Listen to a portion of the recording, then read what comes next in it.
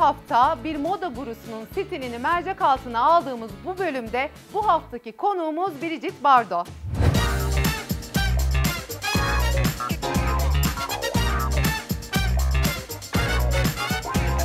Brigitte Bardot, seksapel denilen olgunun yüksek topuklarla elde edilen bir özellik değil de tavırla ilgili olduğunu, babetleriyle attığı her adımda kanıtlayan unutulmaz bir stil ikonu.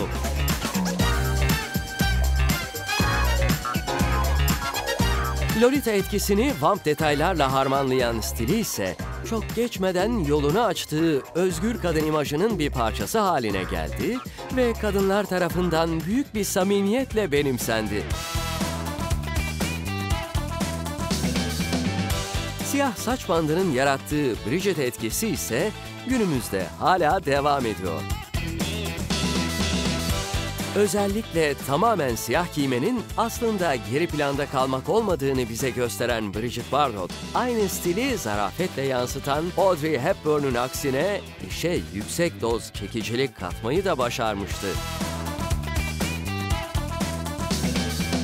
Sezonluk trendlerin gelip geçici yarışında Bridget Bardot zamansız stiliyle kalıcılığın formülünü yıllar önce bulmuştu.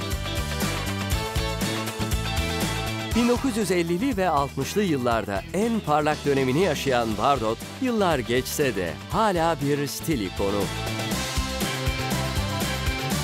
Saç bantları, zarif elbiseleri ve kendine has moda anlayışıyla bugün bile gençlerin örnek aldığı bir isim.